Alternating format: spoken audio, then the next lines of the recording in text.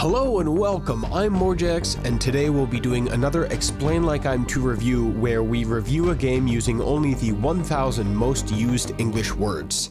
Let's get to it. Outer Space Being Fight Team 2 is a turn-using plan-making game that takes place 20 years after the events of the game before this one, Outer Space Being Fight Team bad guys not known. The war-making team that you fight with is trying to fight off the outer space beings that took over our homes. Since the last game, humans have lost the war, and now they fight back against the bad guys that are in our personal space. You play as the leader of the Outer Space Beings Hating Group, and fight the outer space beings in your flying ship called the Fightbacker, which is your new moving hiding house for your fight team.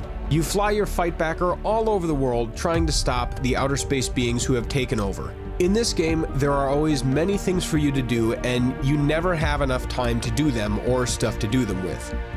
This makes the game hard because, as the leader, you have to make the choices about what you have to do next and what you can't or won't be able to do. There are many things that can hurt you while you fight against the bad guys.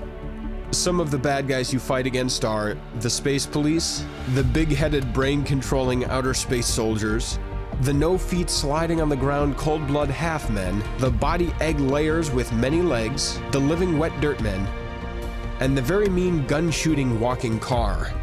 You can also get hurt from just making really bad choices. I'm good at that, you guys.